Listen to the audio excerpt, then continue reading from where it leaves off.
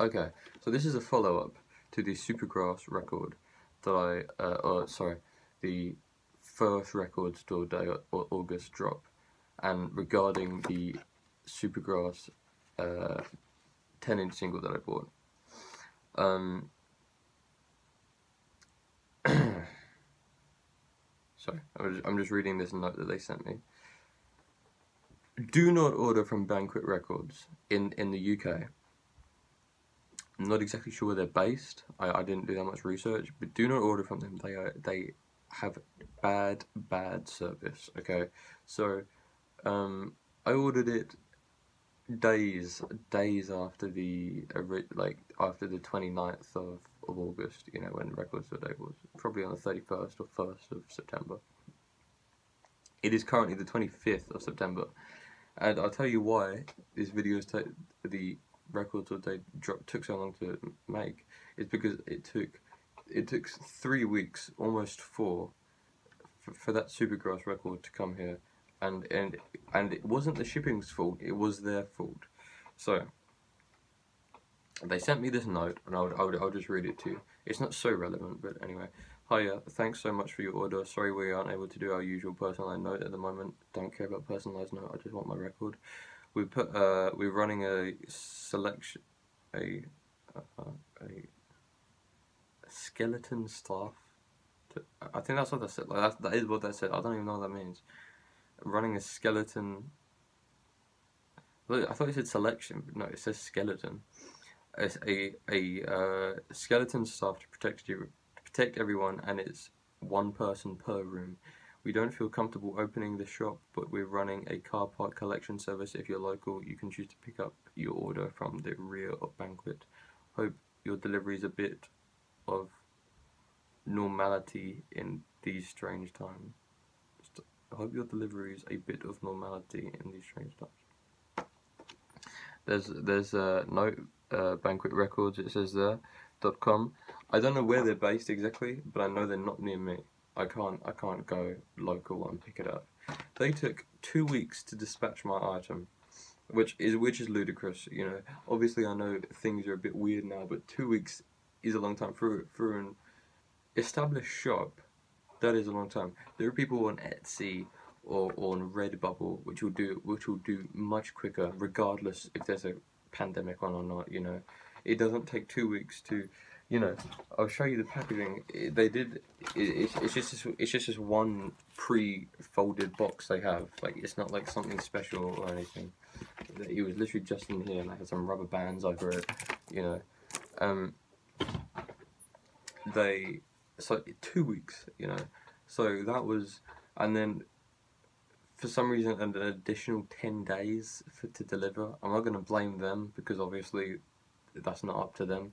But you know, still, like, what the hell? It, it, it was ridiculous.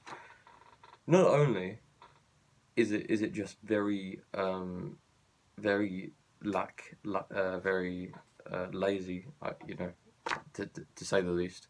Um, the the service they provide, the shipping is cheap. The reason it's cheap is because it's not tracked, which is very annoying.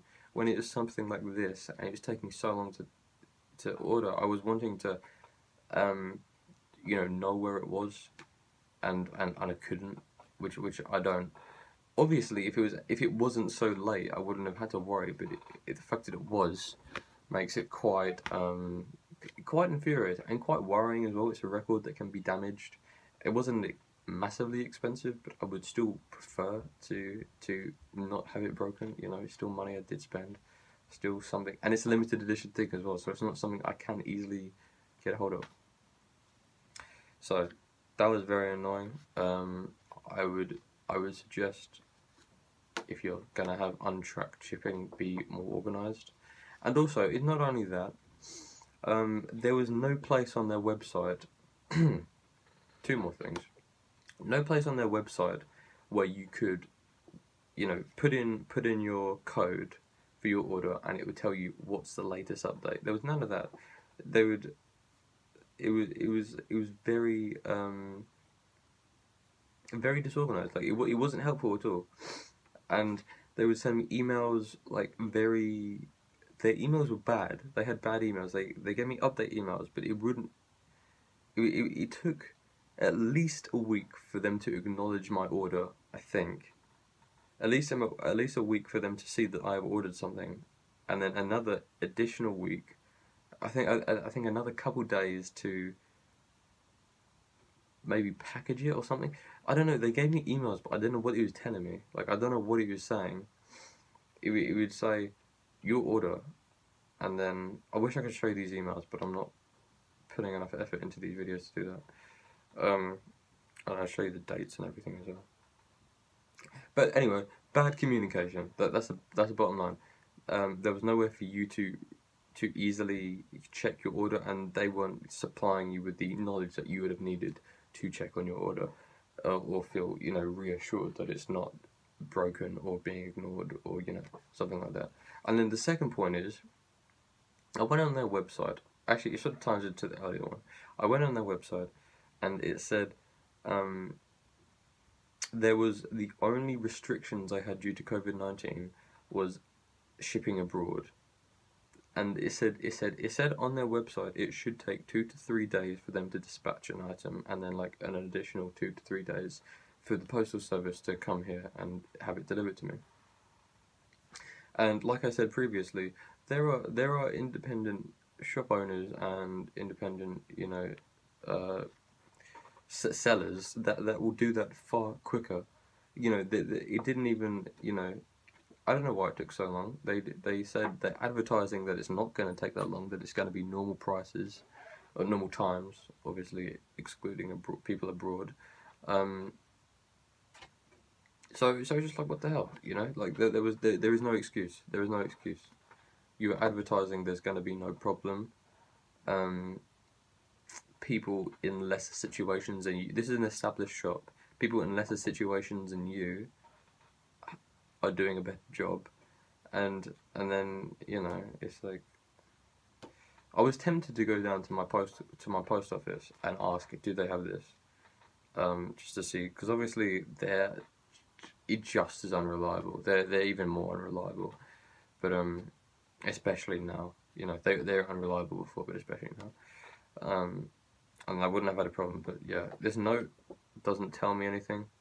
Like they, like they, they wrote this note knowing that they've taken two weeks to dispatch my item, and there's no sorry. There's no like complimentary thing. Like they just. So.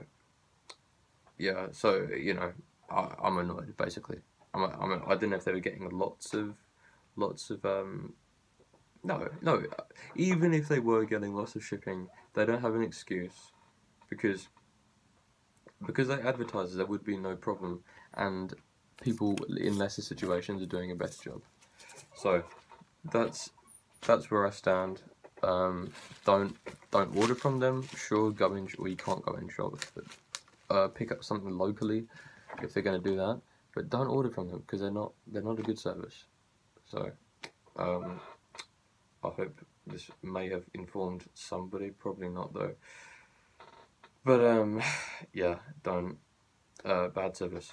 All I, all I can say, all I can say, bad service. Um, so yeah, I hope you may have enjoyed this video possibly. Um, but otherwise, uh, like and subscribe, share or something. Uh, I'll see you in the next video. Goodbye.